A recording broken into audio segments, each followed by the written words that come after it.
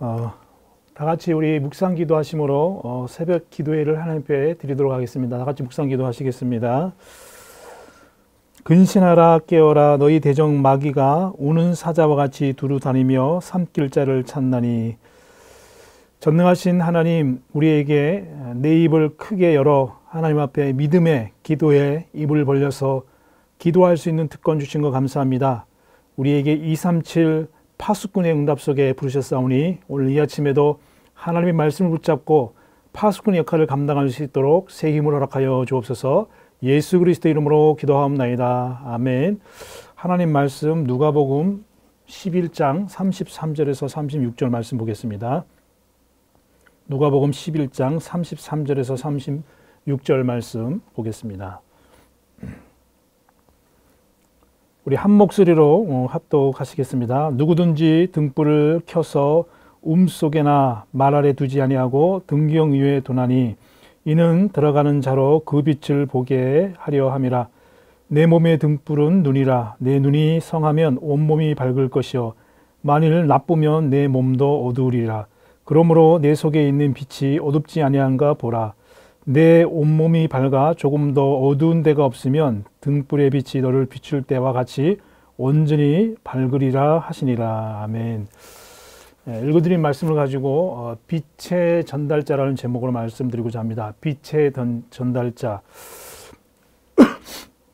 2021년 아, 어, 원단 메시지가 아, 선포됐습니다. 이 부분은 아, 대교구 세미나가 1월 24일 날 어, 있습니다. 그래서 저도 시편 81편 10절을 가지고 또 1년 동안 적용해야 될 부분들 또 대교구 사역 어떤 계획들 이런 부분들을 또 메시지 이런 부분들은 이제 대교구 세미나 때 구체적으로 언급하기 위해서 오늘은 이렇게 언급하지 않고 어, 간단하게 저는 이게 내 입을 크게 열라는 그 입을 열라 내가 채우리라는 이 말씀 속에 아, 적용한 것 중에 한 가지가 믿음의 눈, 믿음의 입, 또 기도의 입, 아, 영적 대진표를 바꿔서 아, 하나님의 스케일을 체험해라. 아, 그래서 그 찬양가의 가사처럼 큰 길을 만드시는 주, 또 큰 기적을 일으키시는 주, 또 약속을 반드시 지키시는 어, 주, 또 어두움 속에 빛이 되시는 주, 어, 그리고 이사야 43장 19절에서 20절 말씀처럼 아, 새 일을 행하시는 하나님의 능력을 올 한 해 또 새롭게 체험해야 되겠다. 아, 여기서 큰 일을 일으키고 또 여러 가지 부분도 있겠지만 아, 그 기적 중의 기적은 저와 여러분이 그리스도 안에 있다는 것, 이 복음의 체험 속에 있다는 것이 가장 큰 축복입니다.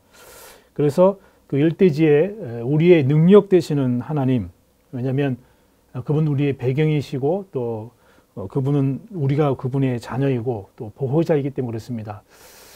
어, 오늘 아침에도 문득 그런 생각을 했는데요. 음, 저도 이제 이렇게 목회자지만 또 목회자 중에서도 아버님이 이제 목사님이거나 또 아버님이 장로님이거나 또 그 속에서 또 많은 응답을 가지고 부교 역자 역할을 감당하는 분도 있고 또 목회자도 있습니다. 그래서 한편 저 같은 경우도 보면 굉장히 부럽기도 하고 또 그러다가 또 제 자녀들이 있잖아요. 제 자녀들이 있기 때문에 자녀를 위해서 기도하기도 하고 또 이렇게 기도하는데 그 가운데 또 우리 자녀들이 청년부도 있고 있거든요. 그러면 뭐 우리 자녀가 이제 뭐 청년 사역하는데 필요한 부분들을 차량이든 또 여러 가지 물질적인 부분들 적든 크든 간에 조금씩 이렇게 도움이 되잖아요. 그러면 아, 그 자녀들에게 있어서는 또 아빠인 목사인 내가 큰 배경이 될 수 있는데 내게 있어서 배경이라는 것들이 사실은 다른 목사님들과 어떤 중직자들과 달리 저에게 배경이 없는데 사실 우리의 능력 되시는 하나님 그 중에 원단 메시지에 그분이 우리의 배경이고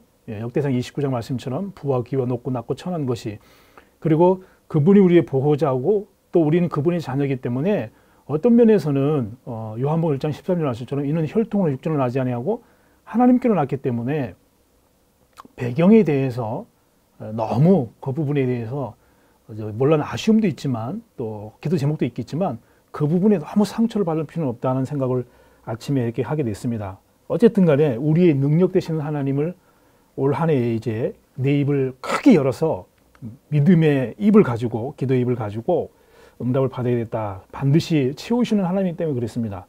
그 중에 여러분 시편 81편을 쭉 읽어보면 아, 그 중에서도 보면 그 어깨의 짐을 벗기고 또 그 손에 강주리를 놓게 하시고 이런 부분들이 나옵니다. 우리가 입을 열어서 크게 하나님 앞에 기도하고 언약 잡고 기도할 때 우리 어깨에 무거운 짐들을 하나님이 벗기시고 그리고 손에 든 강주리를 놓게 하시고 또 그들의 원수를 누르시고 그들의 대적들을 치시를 하셨거든요. 흑암이 완전히 무너지게 되어 있습니다. 자, 그런 가운데 오늘 읽어드린 말씀을 가지고 누구든지 등불을 켜서 음속이나 말 아래 두지 아니하고 등경 위에 두나니 이는 들어가는 자로 그 빛을 보게 하려 함이라. 저는 계속 이 장 중심으로 이제 누가복음 지금 11장을 하고 있는데요. 이 읽는 말씀 속에 빛의 전달자거든요. 그래서 첫 번째로는 오늘 본문에 보면 누구든지 등불을 켜서 음속이란 말은 이렇게 등불이 비치지 않는 은밀한 곳에 숨겨두는 거 있죠. 여러분 뭐 혹시 남자분들은 이렇게 비자금이 있을 수 있잖아요. 그거를 이렇게 아내가 물론 이제 아내 아내가 아는 또 있겠지만 대다수 우리가 가지고 있는 것들을 아무데 놓지는 않잖아요. 또 뭐 부잣집 같은 경우 보면 금고도 있고 막 그러잖아요. 근데 이 등불을 가지고 그런 음 속에 은밀한 곳에 보이지 않는 곳에 숨겨둘 자가 어디 있느냐 이렇게 말을 하고, 말을 하고 있거든요. 그러면서 어, 뭐라고 되냐면 등경 위에 드러니 말, 말 아래 두지 아니하고 이 말이라는 말은 어, 쉽게 얘기하면은 한 10m, 10리터짜리 어떤 그 물건들을 집어넣을 수 있는 항아리, 항아리, 큰 항아리 속에 집어넣어 가지고 빛이, 비치지 못하도록 할 자가 어디 있겠느냐. 등경 위에 둔다는 말은 어떤 위에 둔다는 것이 아니라 그 등불을 이렇게 어, 담을 수 있는 이렇게 호롱불 같은 걸 담을 수 있는 옛날에 보면 이런 데가 있거든요. 그런 거 위에다가 이렇게 불을 올려놔야 비친다는 겁니다. 당연한 거 아니겠습니까? 그래서 이, 이 본문을 보면서 우리가 첫 번째 생각할 것이 뭐냐면은 우리는 답을 가진 자입니다. 다시 말하면 그리스도를 소유한 자거든요. 그러면 당연히 이 그리스도가 우리 안에 있기 때문에 오늘 본문 말씀처럼 등불을 켜서 당연히 이 등경 위에 두는 것처럼 당연한 것이 자랑하는 것처럼 빛을 비치게 하는 것처럼 음속이라든가 말 아래 두지 않고 등경 위에 밝히듯이 우리가 가지고 있는 이 복음 그리스도에 대한 답을 정확하게 가지고 있다면 당연히 우리가 자랑하고 말하고 또 그 문제 가운데 있는 사람에게 답을 줄 수 있는 거죠.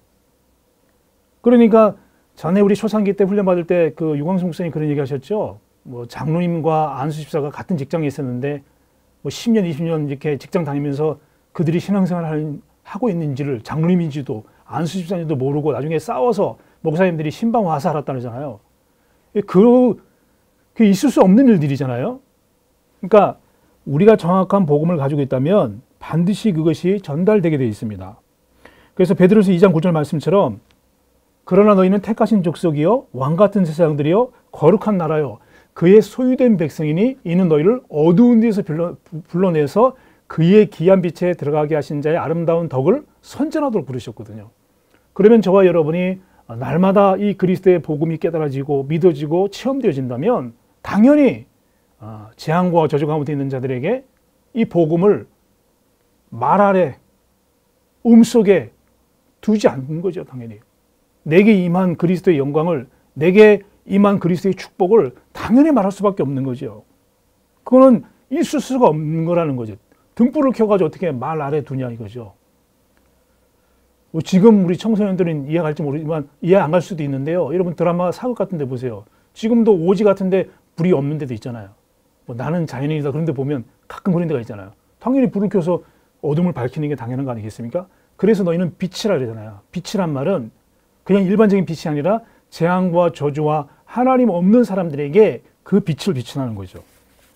그럴 때 일어나는 일들이 마태복음 5장 13절 16절 말씀처럼 세상의 소금으로 세상의 빛으로. 그래서 너희는 세상의 빛이라 산에 있는 동네가 숨기지 못할 것이요. 이렇게 되어 사람이 등불을 켜서 말 아래 두지 아니하고 등경 위에 두나니 이러므로 집안의 모든 사람에게 비치니라. 당연한 거는 거지. 저와 여러분이 아름다운 덕을 선전하도록 우리를 어두운 데서 불러냈다는 거예요. 그래서 지금도 어두운 가운데 있는 자에게는 등, 등불을 켜서 등잔 위에 두라는 거죠. 우리가 있는 곳에 흑암과 재앙이 무너질 수밖에 없기 때문에 당당한 정체성을 가지고 떠들 필요도 없이 그 답을 가지고 있으면 말할 수밖에 없다는 거죠. 이것은 어떤 자꾸 우리가 행위를 얘기하니까 너희의 착한 행실을 통해서 그 사람들에게 이 등불이 발되라 그런 소금이다. 이런 어떤 윤리 도덕적인 것만 얘기하니까 그것도 필요하죠. 그러나 근본적인 것을 얘기할 때 이 축복을 누려야 되는 거죠. 자꾸 윤리적인 도덕적인 얘기하니까 말 못하는 거예요. 예를 들어서 아, 내가 착하지 못하는데 어, 내가 술 한 잔 먹었는데 내가 직장에서 뭐 이렇게 그게 아니라는 거죠. 신문 빛이라는 거죠. 등불이라는 거죠. 이것을 가지고 밝히라는 거라.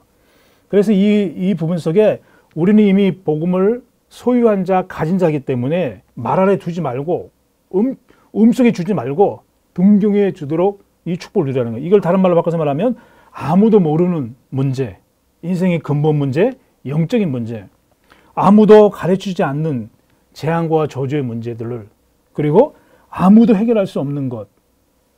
여러분, 아무도 모르잖아요. 이런 문제가 왜 생겼는지. 목사님이 이번 주 말씀하신 것처럼 그 어린 칸나나이가 숨지게 된 그 원인에 대해서 기독교인인데도 모르는 거잖아요. 영적인 문제를. 그리고 아무도 가르치지 않는다니까요. 저 같은 경우도 그랬어요. 저 같은 경우도 중고등학교 때 우리 가정이 내가 왜 그런지를 몰랐다니까. 신앙생활을 했는데도, 교회 다녔는데도.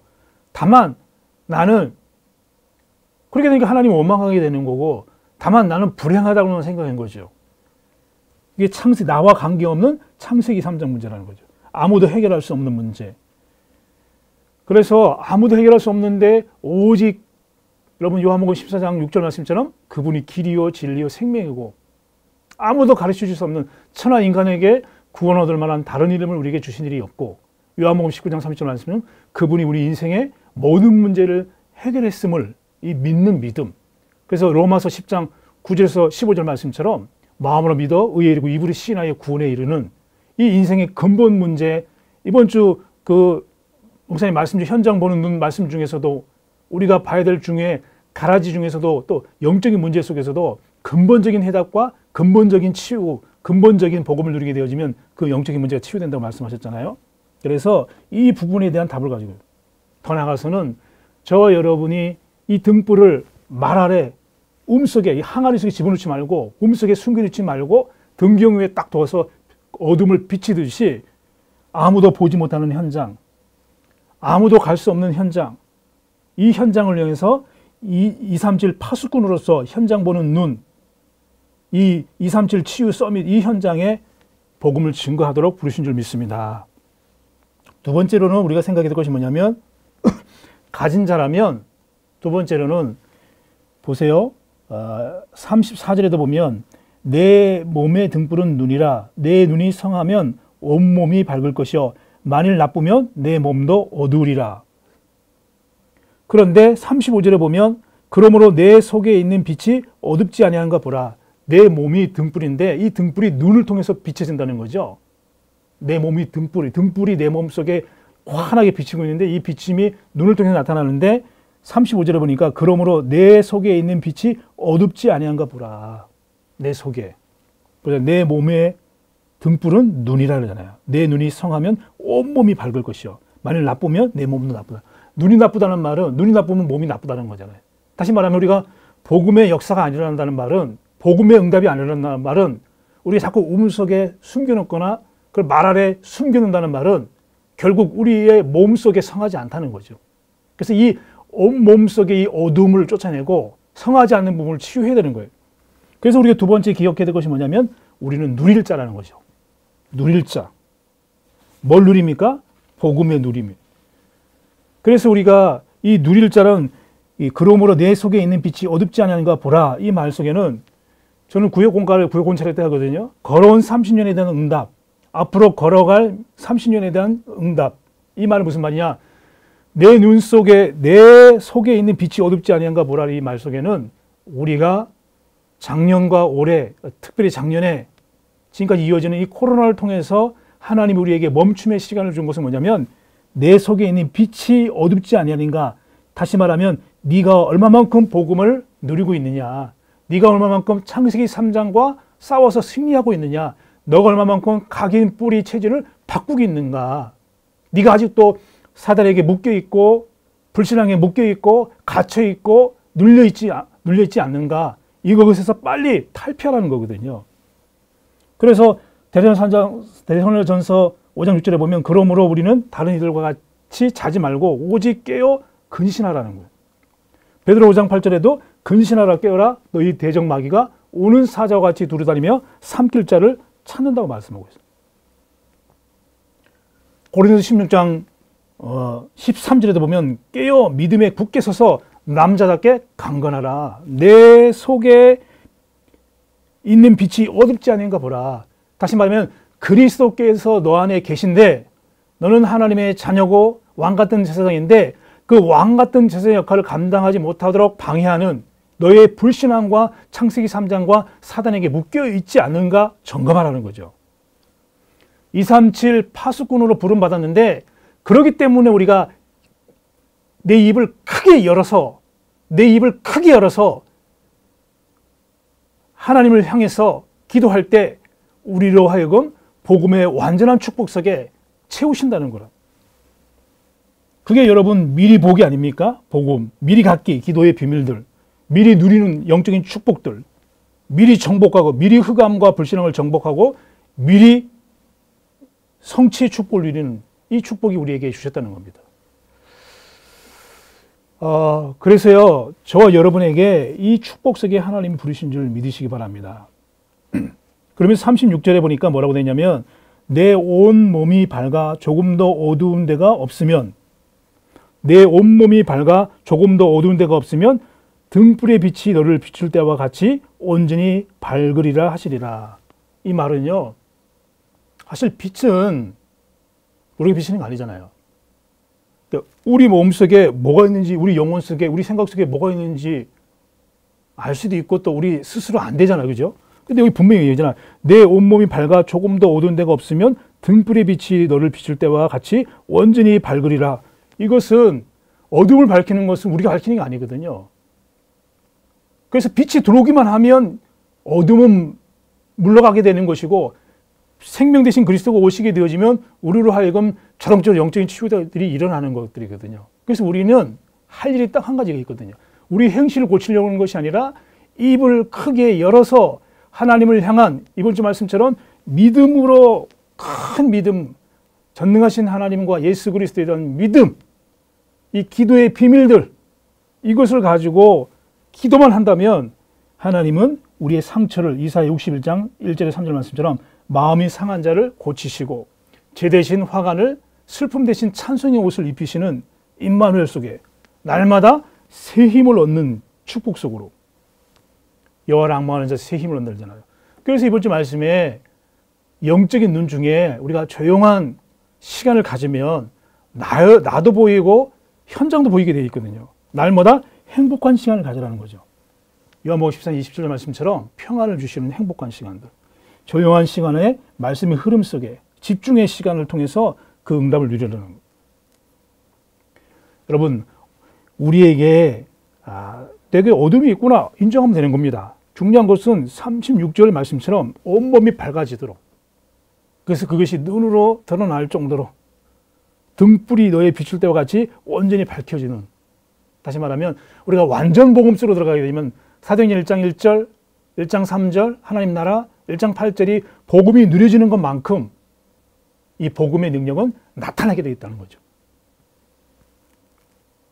그래서 우리가 저와 여러분이 이 중요한 조용한 시간, 집중의 시간을 가지면 됩니다.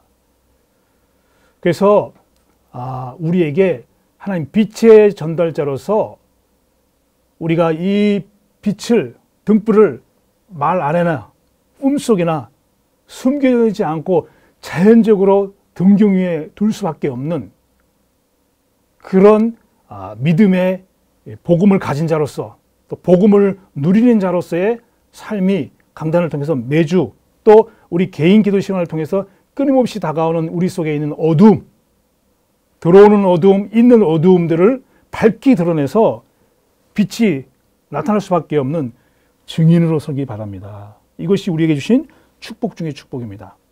결론입니다. 아, 그래서 저와 여러분이 꼭 기억해야 될 부분 중에 뭐냐면 우리는 과정 중에 있는 거잖아요. 이미 여러분 빛으로 또 이 어두움을 제거하고 믿음으로 가고 있습니다. 그래서 우리가 조금만 더 집중의 시간을 갖는다면 하나님은 반드시 우리를 통해서 이 복음 운동의 주역으로 하나님이 사용할 줄 믿습니다. 이 아침에도 여러분의 어둠이 빛으로 드러나는 그래서 자랑할 수밖에 없는 증인의 축복이 있기를 그래서 파수꾼의 영적 파수꾼의 237 파수꾼의 그리고 우리 성도들 한 사람 한 사람들을 살리고 힘을 주는 그 일에 저와 여러분이 쓰임 받기를 예수 그리스도로 축원합니다. 우리 합심으로 기도할 때 여러분 집에서 뭐 조용한 시간을 갖든 뭐 어떻게 하든 간에 본당 헌당을 위해서 그래서 지금 우리 장로님들은 이미 작정한 헌금을 미리 이렇게 드리는 운동을 하고 있습니다. 우리도 여러분도 미리 본당 헌당에 작정한 어, 헌금들이 드려질 수밖에 없는 경제 응답들이 이미 드린 분들은 더 드릴 수 있는 응답들이 일어날 수 있도록 기도하시고 빠른 코로나가 잠식되어지고 종식되어지고 보고 운동이 일어날 수 있도록 또 있는 동안에 우리가 더이 어, 빛으로 드러나는 집중의 시간을 가질 수 있도록 여러분 기도하시고 또 여러분 이제 1월 24일 날 또 대교구 세미나가 있습니다. 또 여러분 또 우리 어, 랩런트국의 세미, 교사 세미나도 있습니다. 보이지 않게 어, 줌으로 또 인터넷으로 다 사역을 준비하고 있습니다. 이 모든 것들이 생명운동에 쓰임받을 수 있도록 여러분 합심으로 기도하도록 하겠습니다. 하나님 감사합니다. 우리 예언의 성도님들이 올 한 해도 내 입을 크게 열라 내가 채우리라는 말씀 붙잡고 믿음의 기도에 언약의 입을 벌려서 기도함으로 말미암아 우리 속에 있는 어둠, 상처, 불신앙이 무너지고 빛 대신 그리스도가 우리에게 선지자로 제사장으로 왕으로 오셔서 그 빛이 음속이나 또 말 아래 두지 아니하고 등경 위에 둬서 많은 사람들에게 답을 주고 그리고 문제를 문제에 대한 해답을 주고 아무도 보지 못하고 갈 수 없는 현장을 향해서 달려갈 수 있는 또 인도받을 수 있는 아니 하나님이 인도하시는 그 현장 속에 설 수 있도록 축복하여 주옵소서 본당 헌당에 쓰임 받을 수 있도록 우리 예원의 모든 사람 어 우리 성도님들의 산업 현장에 동일한 응답이 기적의 역사들이 응답의 역사들이 일어날 수 있도록 축복하여 주시고 237 서밋의 또 파수꾼의 또 치유의 증인으로 설 수 있도록 역사해 주시옵소서. 조용한 시간 집중의 시간을 통해서 하나님을 만나는 행복과 치유와 나를 살리고 다른 사람을 살리는 그리고 미리 보여지고 미리 성취되어지고 정복되어지는 그 응답이 그 현장에 있게 하여 주시옵소서 예수님의 이름으로 기도합니다. 아멘.